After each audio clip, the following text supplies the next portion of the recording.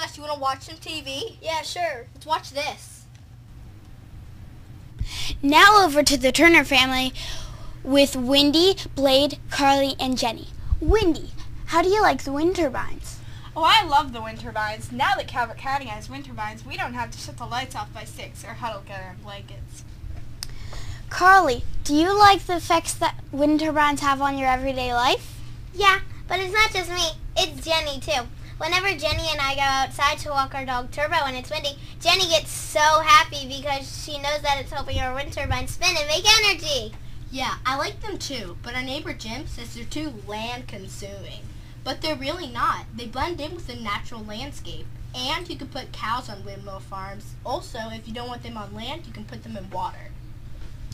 So, Wendy, did everyone want to get wind turbines at first? Oh no, in fact my husband didn't even want to get wind turbines at first, but he came around. That's only because he had no one to shut the lights off so that we could save money on our electric bill. Is that true, Blade? It's true, but it helps to stop pollutants in the air like you do by using coal or other fossil fuels. That's a good choice. Back to you, Sandy. My turn to pick show. Fine. Now back to the presidential debate. But coal keeps us warm. But it's a fossil fuel that'll eventually run out. Coal is so much more efficient. Not true. Wind turbines can extract and solve the energy from moving air, which is very efficient. Plus, it doesn't ha- they don't have any fuel cost. Wind is free. Oh well, the fuel cost has been rising lately. That's just because of the other things. You need to mine coal. You mean like explosives and insurance? No, it costs more.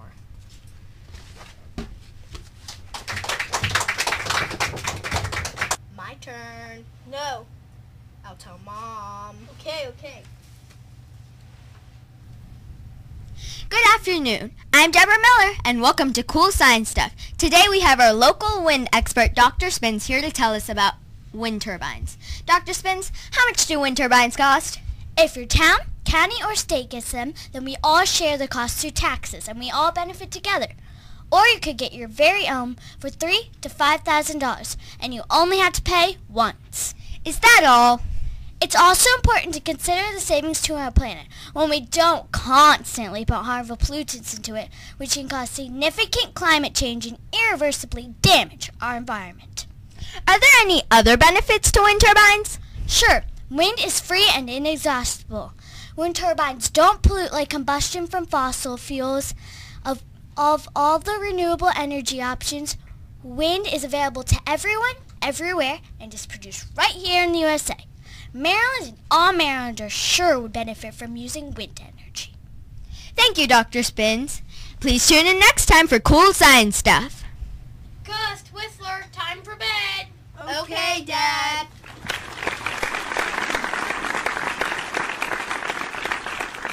Because you know I'm all about that wind, about that wind. Wind turbines, I'm all about that wind, about that wind. Wind turbines, I'm all about that wind, about that wind. Wind turbines, I'm all about that wind, wind, wind. Yeah, it's pretty clear. We don't use fossil fuels, but we can make energy like we're supposed to do. We got those turbines that everybody wants in all the right places, in all the right places. You see the magazines, talking those turbines. We know that it is real, so please don't make it stop. If you got money, money, just raise it up.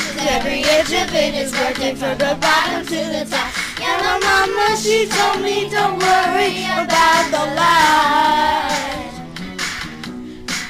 She says the wind turbines spin all through the day and the night.